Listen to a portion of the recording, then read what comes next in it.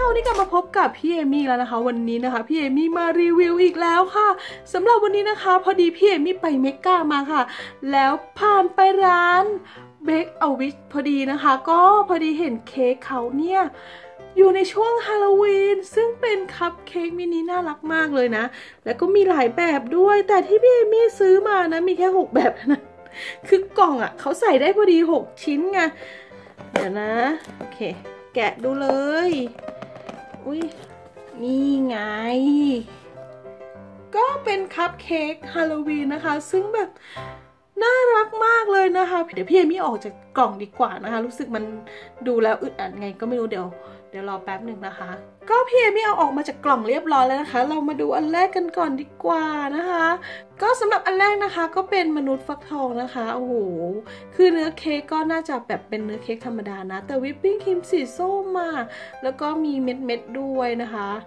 ส่วนตรงตัวที่เป็นมนุษย์ฟักทองเนี่ยเป็นช็อกโกแลตนะคะโอเค แล้วก็ตัวนี้ก็จะเป็นนะคะ เฮ้ยโครงกระดูกอะน่ารักอะ คือแบบเห็นแล้วอยากกินแล้วนะเนี่ย แล้วเขาไม่ทำเป็นกระดูกเห็นไหมเป็นกระดูกเล็กๆ น่ารักมากเลยอะมนุษย์โครงกระดูกนะคะ ต่อไปนะคะเป็นแฟรงเกสไตน์สีเขียว โอ้โห วิปปิ้งครีมก็สีเขียวนะคะ อือหือ น่ารัก นี่ แล้วก็มนุษย์แมมมี่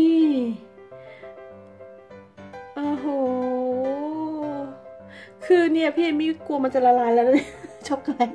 มันจะละลายไหม เขาบอกว่าถ้าเกิดเอากลับมาบ้านต้องแช่ตู้เย็นนะ ถ้ายังไม่กินเลยอะอ่านี่เด็กคิวล่านะคะ สีม่วงนะคะหูยสวยมาก อันสุดท้ายนะคะเป็นข้างคาวค่ะหูยตัววิปปิ้งครีมเนี่ยเป็นสีแดงนะ สีสดมากเลยอะแล้วเนื้อข้างในอะน่าจะเป็นช็อกโกแลตนะคะ โอ้ย มา เดี๋ยวเราลองมาชิมกันก่อนดีกว่า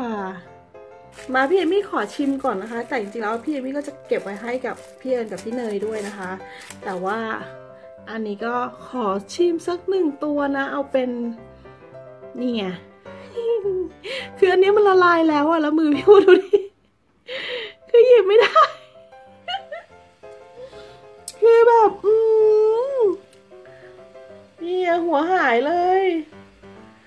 อตอนแรกจะดึงช็อกโกแลตออกมากินอย่างเดียวนะคะ แต่แบบขยับไปหน่อยเดี๋ยวมาดูเซคือข้างในอะนี่ไงที่พี่ไม่บอกมันเป็น